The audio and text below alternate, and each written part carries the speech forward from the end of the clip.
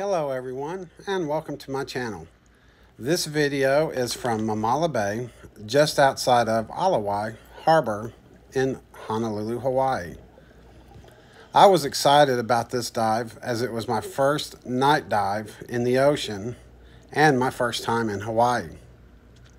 In this video, you'll get to see a creature which was new to me called a slippery lobster.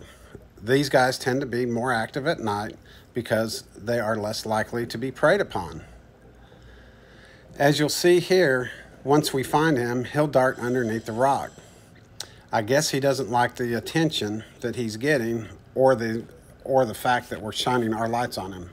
So he darts for the first thing he sees to get cover. And there he went. I hope you all enjoyed the video. Stay tuned for more. Bye.